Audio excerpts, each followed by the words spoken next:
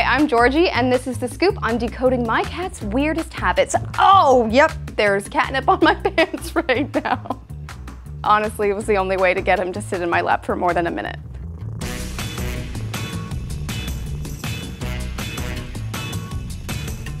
So I'm a super new cat mom. I've had Beans here for six months. Um, you guys might have seen the episode where we adopted him. It was very wonderful.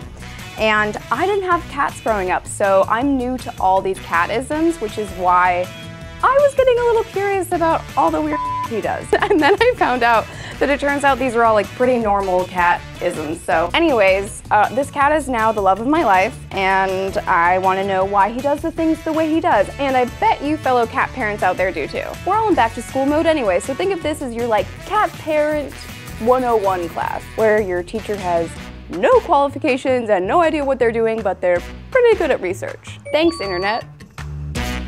So here's what we're gonna go over that Beans does that maybe a lot of your cats do too. Why my cat puts his toys into his food and water bowls. Why does my cat insist on sleeping on top of my head every night?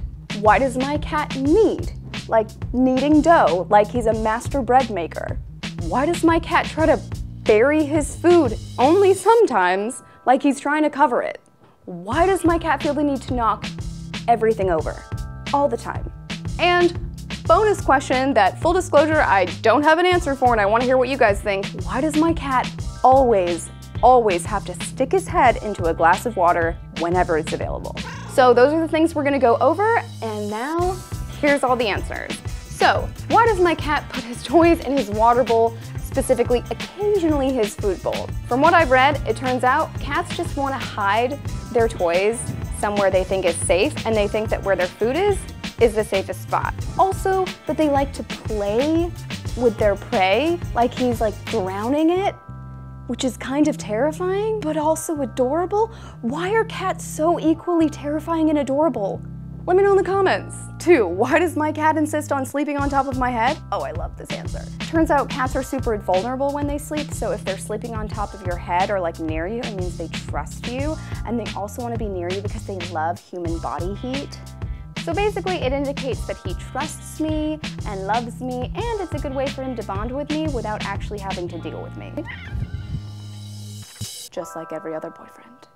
Ooh, fun one. Why do cats knead all the time. First of all, it's a thing that they do with their mothers because when they knead the mammary glands, it produces more milk. So as kittens, that's like an instinct they have. But it also produces like a calming, soothing effect for them as well. So that's why they knead their beds or you or pretty much any surface they decide they want to knead. Why my cat tries to like bury his food sometimes, not all the time, just sometimes he likes to like bury his food after he's eaten a little bit of it. So if your cat tries to bury their food without eating it, it turns out it might be them being like, ew, no thank you. That might be what they're saying, I don't like my food. But with my cat, he'll eat a little bit and then he'll try to bury it, which I thought was like, how adorable he's trying to save it for later or something, but that's not what it is. It turns out in the wild, cats will try to bury their food because they don't want predators to smell them and they don't want predators to like find their area.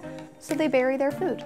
Cats are baby geniuses, no big deal. Why does my cat feel the need to knock everything over? So this one has a few different theories. One of them is that cats want to touch things because it might be a mouse, it might be a prey, and like we said earlier, they like to play with their food. So they might be patting something to see if it'll like move and give them a chase.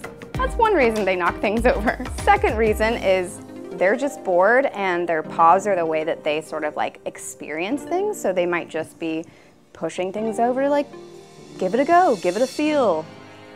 I don't know what the human equivalent of that is. I guess maybe Googling at three in the morning, who really killed JonBenét Ramsey? no, just me. But the one that I think is pretty good is that they know that if they knock something over, it's gonna get your attention. So once they realize you come running every time they knock something over, every time they want your attention, they're gonna knock something over knowing that you're gonna come running. So, pro tip, apparently the best thing to do if your cat's knocking something over is to totally ignore them. But like obviously you have to go running if it's a glass thing that just broke, which I've had to do about 17 times since I had my cat in six months, so I don't know how sound that advice is. And last but not least, number six, which I didn't really find a very satisfying answer for, so I want to hear what you guys think. Why is it that every time there is a vacant full glass of water sitting on a surface, my cat will go and stick his head in it? And I'm gonna prove it to you guys right now by going and getting a glass of water, putting it right here, walking away, and letting you witness that this happens every time, 100% of the time. I know that cats are fascinated with water, but I know it's more of like a running water thing. Like he loves going into the shower after we get out. He loves running to the sink when it's running. I don't know what his whole thing of sticking his head in water glasses is. Like, I don't get it. I don't know. Maybe one of you guys know. So I want to hear your thoughts on that one and all of the others that we've talked over in the comments below. Do you agree with some of this stuff? Did you know all this stuff? Did you not know some of this? Do you have other theories? Let me know in the comments below. And please like and subscribe to All Things The Pet Collective. Once again, I'm Georgie. Beans is somewhere because he's a cat. Thank you guys so much for watching, and I'll see you next time on The Scoop.